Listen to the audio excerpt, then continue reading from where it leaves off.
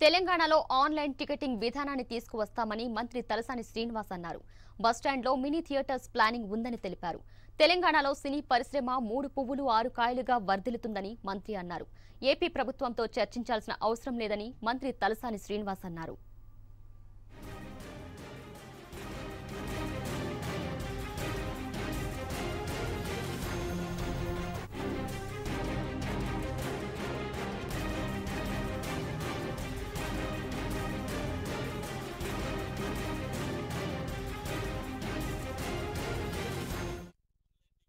అనేది స్టార్ట్ చేసిందే మనం.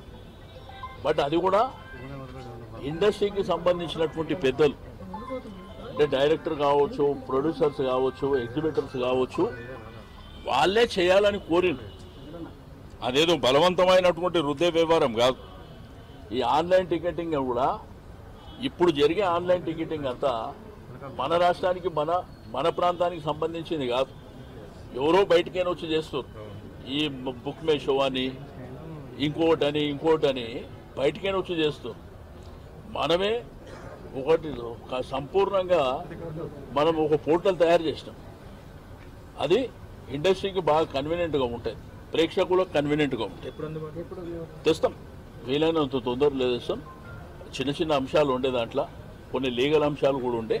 అవన్నీ ఓవర్కమ్ అయినాం. తెస్తాం. అది రీసెంట్గా అక్కడ జరిగింది ఇక్కడ జరిగింది అంటారు కానీ అసలు ఆన్లైన్ అనేది దేశంలో ఫస్ట్ ప్రవేశపెట్టిన మనమే.